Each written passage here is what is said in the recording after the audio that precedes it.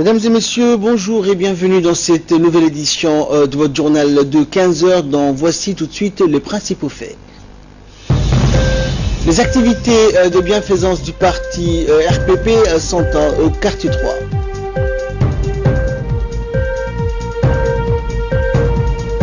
Et dans l'actualité mondiale, au moins 10 morts dans le naufrage d'un camion de migrants.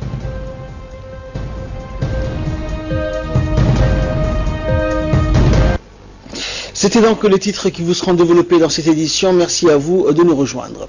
Le comité exécutif du RPP poursuit ses activités de bienfaisance. Ainsi, après le quartier 7, le comité s'est retrouvé hier soir au centre de développement communautaire du quartier 3 pour une rupture collective de jeunes et la remise des habits aux enfants de ce quartier.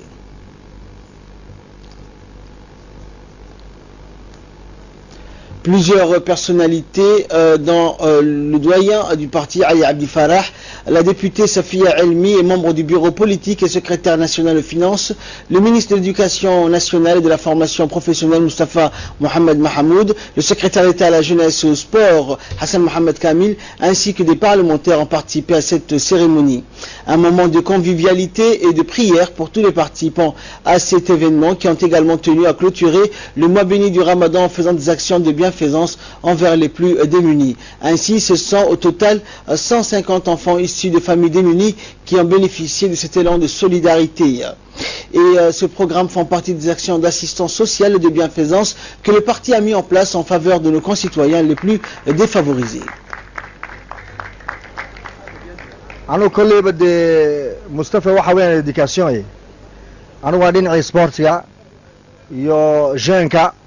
Waxaan idhahaa meeshaan maraba waxaan idhahaa portbaroolka jeneskaan ahay marka wixii carte trois looga baahnaado iyo carte cinqba wixii looga baahnaado waan u joogaa ilaahay hadduu idhaho marka insha allah waxaan diyaar u nahay siduu xasan soo sheegayba aniga inaan inagii nagu dhex jirno oon ini dhex joogno oon wixii alla wixii itaalkayga ilaahay dartii ilaahay dartii iyo maxaa la yidhaahaa mas'uuliyaddaas nasaaran annagoo iska gudaynaa inaan garab joogno waayo madaxweynuhu dalku markii ugu horreysu nala kulmayna shayga ugu horreysu naga yir waxa weyaan waa dadka u joogsada dadka dhegaysta dadka baahidooda dhegaysta oo dadka baahidooda intaad karaysaan u qabta.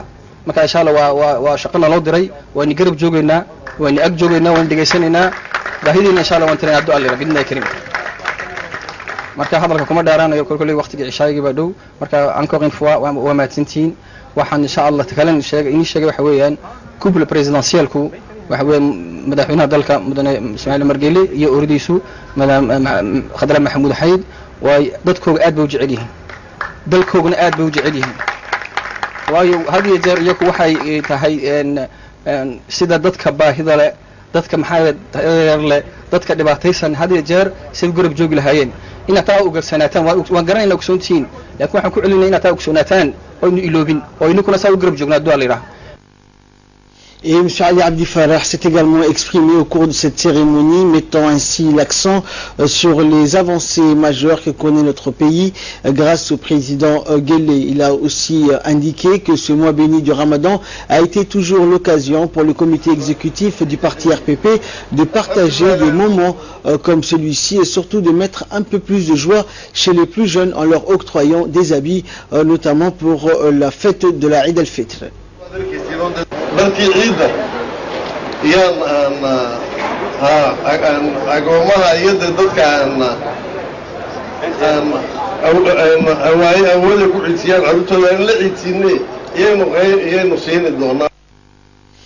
ministre de l'Énergie chargé des ressources naturelles Yassine Hussein Bouh a organisé également un iftar collectif pour l'ensemble du personnel de son département ministériel au Sheraton Hotel. Le ministre ainsi euh, que euh, les personnels ont cassé les jeunes dans la joie et l'allégresse. Outre le ministre Yassine Hussein cet iftar collectif a vu euh, la participation du directeur général de l'électricité de Djibouti, Diama Ali Guélé, des hauts cadres du ministère. Cet iftar était animé par des chansons du groupe Al-Ghazani.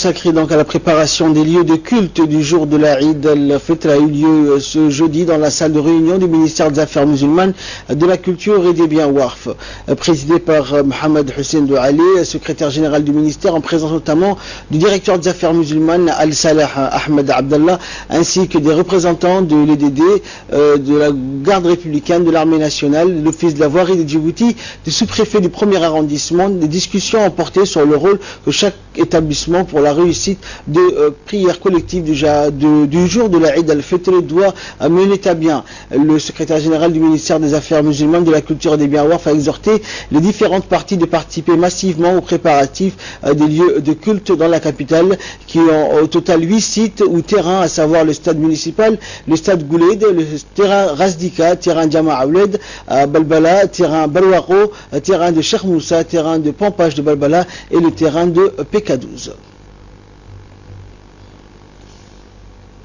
Au niveau national, toujours, le ministère des Affaires musulmanes, de la Culture et des Biens Warf et la direction de la culture ont organisé hier la cérémonie de remise de récompense du festival de Qassaïd et de poésie au Palais du Peuple.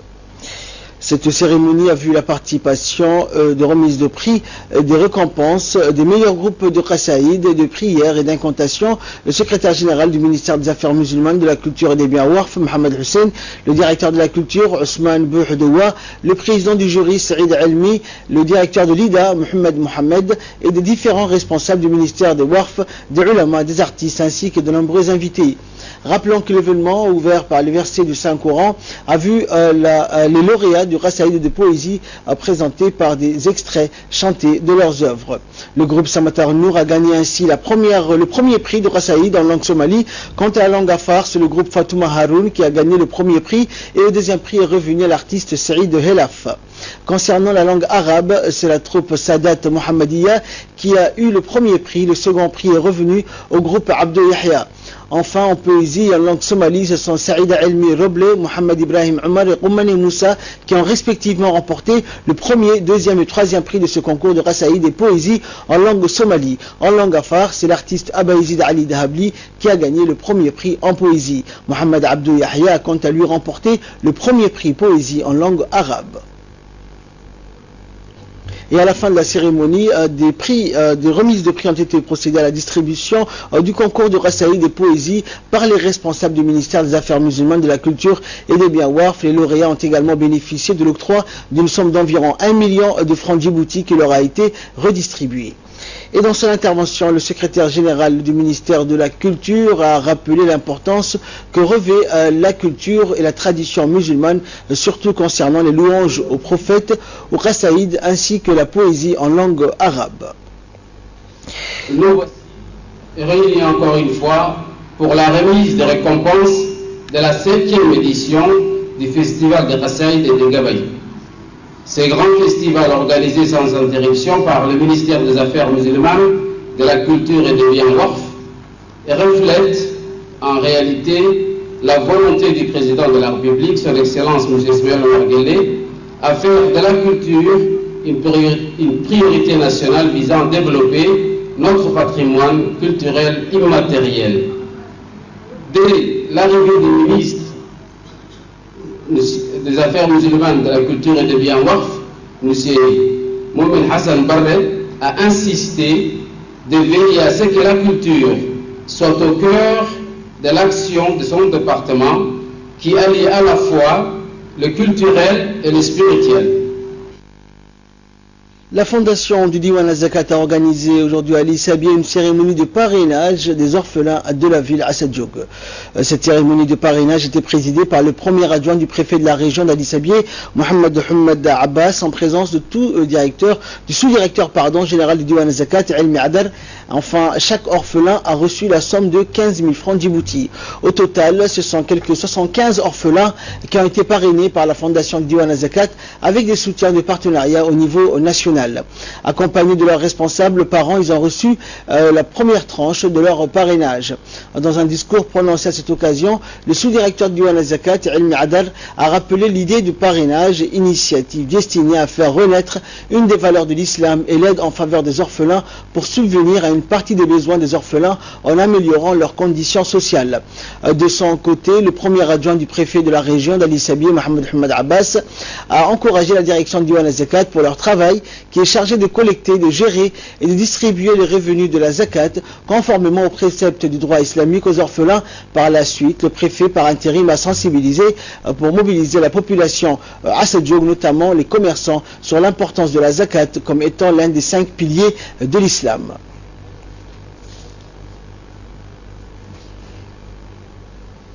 La préfecture de la ville blanche, notamment Tadjoura, a organisé un concours coranique en ce mois béni du Ramadan. Le concours de Saint-Coran a réuni les étudiants des écoles coraniques de la région de Tadjoura et la finale a opposé les élèves de l'école saoudienne et les élèves de l'école coranique de PK9. La compétition s'est donc déroulée dans l'enceinte de la mosquée saoudienne et a été supervisée par les chers Hussein Burhan et Adeita et la cérémonie de clôture s'est déroulée à la préfecture de Tadjoura. Les concours de Coran a porté sur la récitation par cœur du 10 juz, 15 juz et 20 juz, mais les meilleurs élèves ont été récompensés lors de la cérémonie de la soirée du 27 juin présidée par le préfet Abdul Malik Mohamed Benouita en présence des autorités régionales et du ministre euh, délégué chargé de la décentralisation Hamoud Mohamed Al-Ramis et des religieux. Après la cérémonie, les personnalités ont réagi sur l'organisation et les résultats du concours organisé chaque année en période du mois béni du Ramadan. Responsable de la région de Tajoura, de l'ulama de Tajoura, et c'est quelque chose d'important parce que Tajoura avait une réputation. Elle était connue sous le nom de Tajoura, la ville aux sept mosquées. Tajoura où il y avait déjà une base religieuse. Aujourd'hui, nous sommes en train de marcher sur les traces de nos aïls pour que la ville retrouve son aura d'autant et notre objectif des jeunes de Tajoura qui puissent participer au concours du chef de l'État organisé chaque ramadan à Djibouti et Inch'Allah l'espoir est mis en avant puisque euh, ce que nous avons écouté aujourd'hui avec attention, les jeunes qui ont appris jusqu'au 20 juz, et c'est quelque chose de positif, c'est quelque chose qu'on espère et qu'on attend, Inch'Allah. Dans la soirée du 29 juin, l'association Al-Rahma de bienfaisance de la ville de Dikil a organisé une cérémonie de remise des prix aux lauréats du concours de récitation du Saint-Coran du mois béni du Ramadan.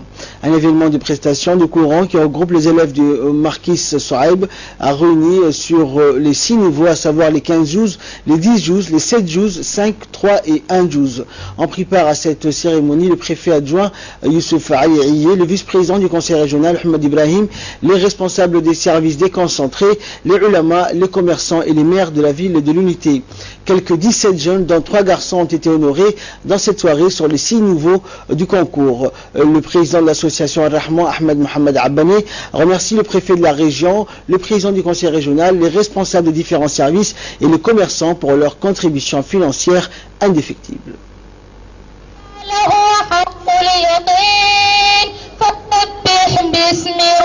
ربك العظيم. صدق الله العظيم.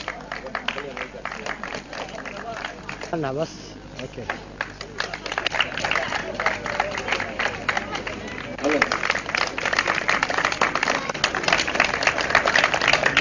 هذا لغو قياس يوم تضبيه تمن سنه آه، إن كدو Santé à présent, le centre de santé communautaire de Khor Burhan a entamé une activité de consultation à domicile dans les quartiers 1 et quartier 2 pour les personnes malades alitées à domicile. Cette action est une stratégie avancée qui a impliqué le médecin-chef du centre Khor Burhan et son équipe d'infirmiers et sages-femmes qui ont fait du porte-à-porte pour trouver des personnes qui ne peuvent se déplacer jusqu'au centre pour les soigner chez eux. L'objectif de ces actions de consultation à domicile fait partie du mandat des centres de santé communautaires qui doivent rapprocher les soins à la population dans les quartiers selon le respect de la délimitation des zones et quartiers. Mais aussi la population vivant dans ces quartiers se familiarise avec le médecin-chef de leur centre de, de, quartier et son personnel soignant. La visite du médecin et ses paramédicaux dans les foyers a permis également de recenser les patients alités mais aussi de sensibiliser la population sur le nombre de services de soins que dispose le centre de santé de leur quartier le plus proche. La priorité du ministère de la Santé est d'améliorer les soins envers la population en fournissant des services de soins de qualité plus proches de la population, de permettre l'accès aux soins pour tous en approchant les consultations jusque dans les foyers pour les personnes alitées et enfin l'importance d'expliquer les services euh, de soins qu'ils peuvent euh, trouver euh, dans les centres de santé de leur quartier pour la mère, l'enfant et les adultes en général et surtout de sensibiliser chaque communauté à venir fréquenter les centres de santé.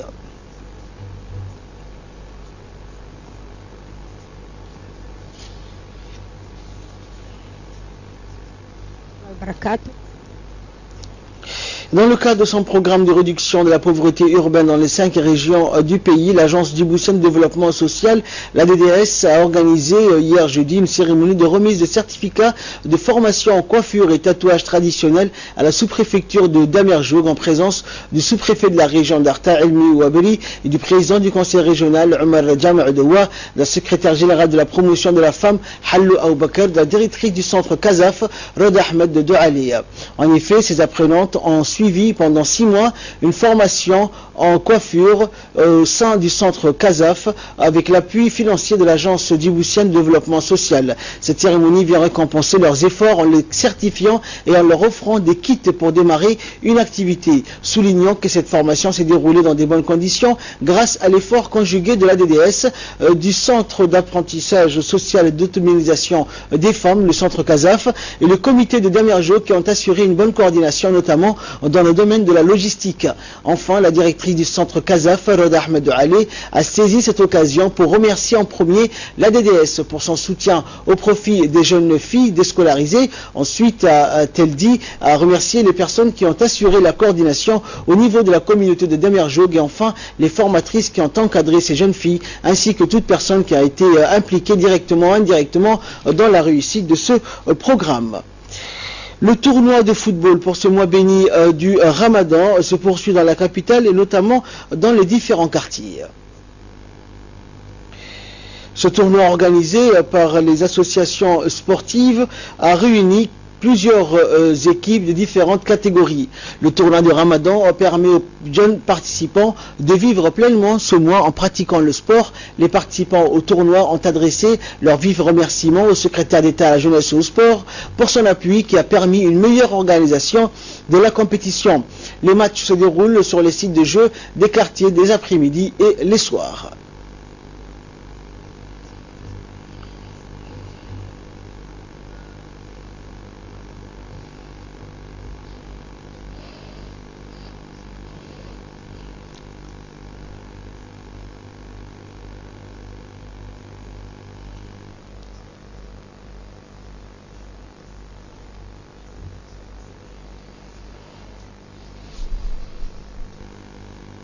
Waxaanan helay nasiib wanaag uu madaxweynuhuna siiyey.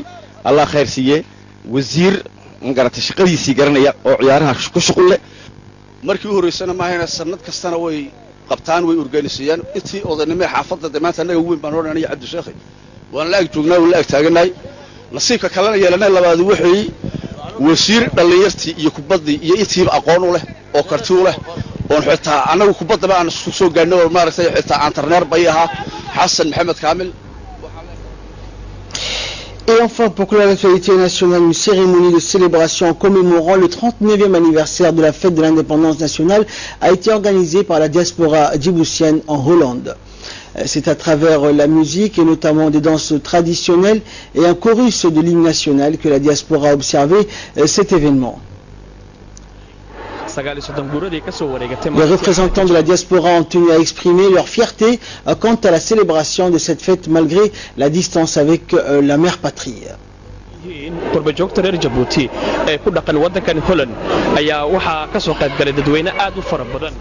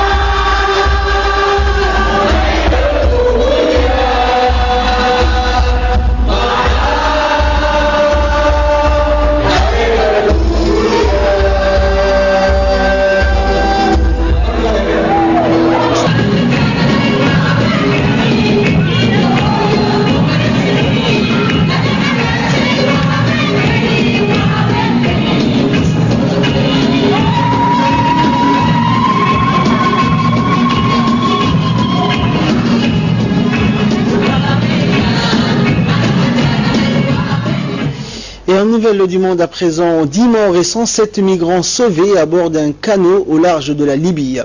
Les gardes-côtes italiens ont annoncé hier avoir secouru 107 personnes et récupéré 10 cadavres à bord d'un canot pneumatique en train de couler au large de la Libye.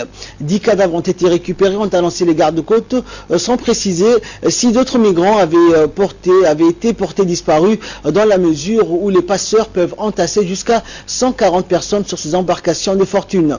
Dans une opération distincte, le même navire d'Issioto de, des gardes-côtes a secouru 116 migrants de plus sur un autre canot pneumatique. Depuis huit jours, le temps reste calme au large de la Libye, ce qui a permis le départ de nombreuses embarcations de fortune gardes-côtes italiens qui coordonnent toutes ces opérations depuis Rome ont recensé plus de 13 700 personnes secourues selon le décompte du Haut Commissariat de l'ONU aux réfugiés, qui ne prend pas encore en compte une bonne partie des migrants secourus ces derniers jours. Plus de 64 000 migrants sont arrivés en Italie cette année, quasiment tous originaires d'Afrique subsaharienne.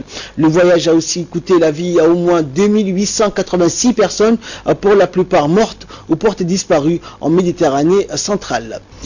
Et enfin, attentat d'Istanbul, les trois kamikazes seraient russes, ouzbeks et kirghizes. Au premier plan, ces trois hommes seraient les trois kamikazes de l'attentat d'Istanbul. Bien que les conclusions de l'enquête n'aient pas encore été publiées, un responsable turc a affirmé hier que les trois terroristes provenaient de pays de l'ex-Union soviétique. Ils seraient russes, ouzbeks et kirghizes.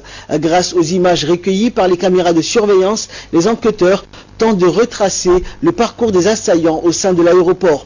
Le scénario de la soirée du massacre reste encore à éclaircir euh, pour savoir quel a été le rôle de chacun. Selon les autorités turques, l'un des kamikazes se serait d'abord fait exploser au terminal des arrivées, puis un autre à l'étage dans le hall des euh, départs. Le troisième enfin aurait attendu à l'extérieur avant de se faire exploser pendant la foule fuyée. Euh, ce matin, la police a également mené une opération spéciale à plusieurs endroits du pays. 13 personnes, dont 3 étrangers, ont été arrêtés à Istanbul, 9 autres à Izmir, à l'ouest du pays. Le bilan du triple attentat suicide s'élève désormais à 44 morts, dont 19 étrangers et plus de 230 blessés. Pour le moment, ce massacre, le plus meurtrier depuis un an en Turquie, n'a pas été revendiqué. Le gouvernement pointe déjà du doigt l'État islamique, même si jusqu'à ce jour Daesh n'a jamais endossé la responsabilité d'une action sur le sol turc.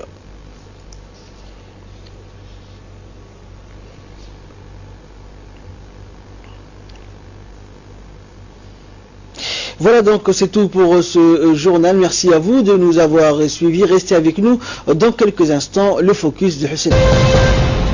pour ce focus de 15h avec Hussein Aouled. Bonjour Hussein. Bonjour Ahmed. Donc euh, hier soir, le premier match euh, de euh, quart de finale euh, de l'Euro 2016, ou de la Coupe euh, d'Europe, euh, comme on, on peut l'appeler comme on veut, euh, c'est disputé entre le Portugal et Pologne. et la Pologne. Donc, euh, comment s'est déroulé ce match? Parle-nous euh, de ce quart de finale qui débute fort.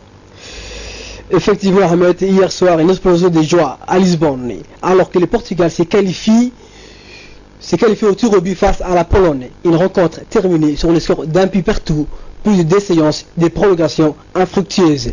Le Portugal s'est qualifié pour sa, cinquième demi-finale d'un championnat d'Europe et la deuxième consécutive en venant à bout de la Pologne à l'issue de la séance de de.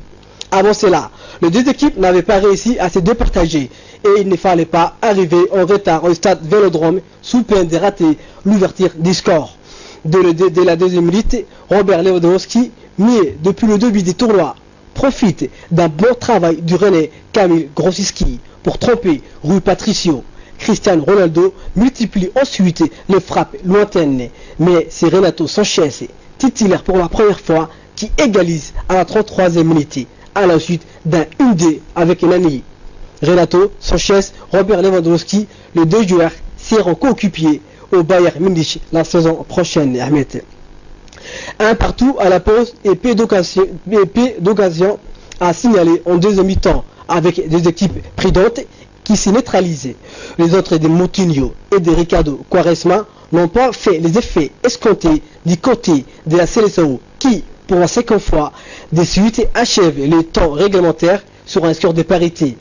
Pas grand chose à signaler en prolongation si c'est l'éruption d'un supporter sur la pelouse, ce qui interrompt brièvement la rencontre. C'est donc lors de la séance de tir au but tout se joue avec Rui Patricio qui repousse la tentative de Jakub Plasikowski avant une dernière frappe sous la barre de Ricardo Quaresma, déjà décisif lors du huitième de finale. Le Portugal sera opposé en demi-finale au vainqueur du duel entre le Pays de Galles et la Belgique Ahmed. Donc on peut dire que le Portugal est bien parti, même si elle a gagné ce match in extremis euh, face à la Ah, Pologne lors de la séance de tir au but. Et euh, le match euh, à côté aussi, euh, le Pays des Galles et la Belgique n'est pas un match, à- n'est pas des moindres parce que c'est aussi un grand match. Donc nous attendons le résultat de ce match et savoir qui Portugal va affronter en En demi-finale. Merci Hussein pour toutes ces explications. Merci à vous de nous avoir suivis. Très bon sud de programme sur 気持。